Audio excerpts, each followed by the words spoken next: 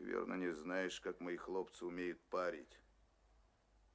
Они сначала выпарят, потом спрыснут горилкой, а потом опять.